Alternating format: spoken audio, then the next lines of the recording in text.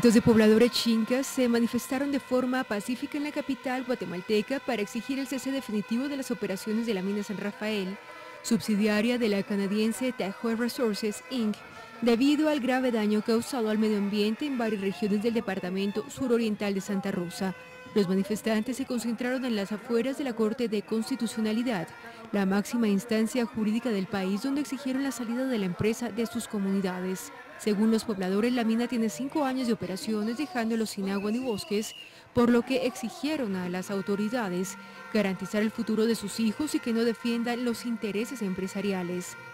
El Parlamento del Pueblo Xinca de Guatemala aseguró mediante un comunicado estar dispuestos a seguir luchando y defendiendo su territorio. Asimismo, exigió al organismo ejecutivo que respete la independencia judicial, ya que la Corte Suprema de Justicia suspendió temporalmente la licencia de operaciones de la mina el pasado 22 de junio,